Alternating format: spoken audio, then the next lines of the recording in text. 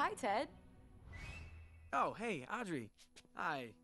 Did your ball land in my backyard again? what? No. a model airplane, this time.